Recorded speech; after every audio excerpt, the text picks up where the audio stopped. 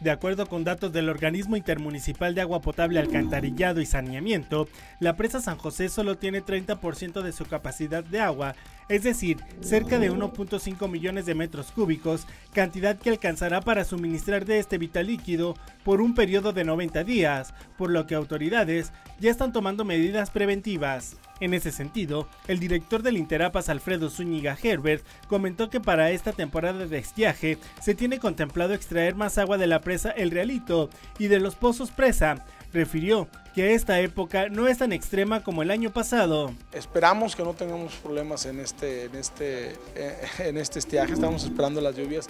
Eh, la sustitución del agua de la presa la hacemos un poquito con el agua del realito, otro poco, otro mucho, con los tres pozos presa que están en la parte eh, por debajo de la presa, que es alrededor del el 80% del caudal que nos cae de la presa. En ese sentido, el director del Interapas Alfredo Zúñiga Herbert comentó que para esta temporada de estiaje se tiene contemplado extraer más agua de la presa El Realito y de los pozos presa. Refirió que esta época no es tan extrema como el año pasado.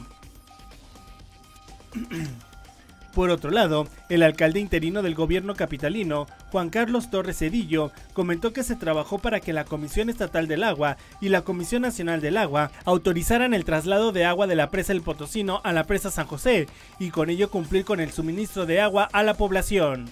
La presa del Potosino nos va a surtir un 30% para aguantar dos meses más la temporada de estiaje y en ese sentido, bueno, pues ya estamos preparados para afrontarla. Asimismo, dijo que será a partir de este martes cuando se haga esta maniobra y eso va a permitir que se atienda a todas las colonias de la capital, aunque el funcionario hizo un llamado a la ciudadanía para que no desperdicien el vital líquido ante esta escasez. Miguel Ángel Lucio, CN13 Noticias.